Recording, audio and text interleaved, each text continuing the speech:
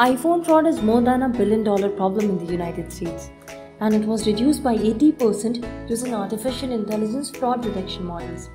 You know, artificial intelligence based solutions are exhaustively implemented by telecom companies to take out relevant business insights from large amount of data which is gathered from numerous sources. These business insights derived from data allow these telecom companies to increase operations and influence the overall revenue of their business in addition to enhancing their user experience. But it's not the end. You know, it was predicted by Gartner that approximately 20.4 billion connected devices will be in use by the end of 2020. I guess post pandemic, presently this figure must be X times more. Likewise, communication service providers, commonly known as CSPs, around the world are hugely exploring the possibilities of harnessing the power of artificial intelligence. Taking the example of the world's largest telecom company, AT&T, which is an American multinational telecommunications holding company.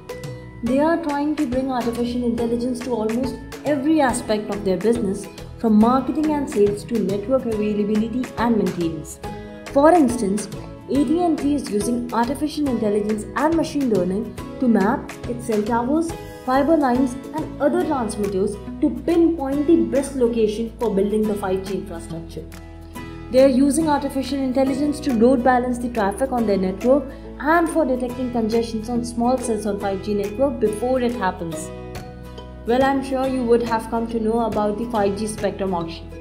I think very soon the telecom companies in India will be needing artificial intelligence and machine learning technologists and likely you will get one more area to sharpen your skill while excelling in your data science career.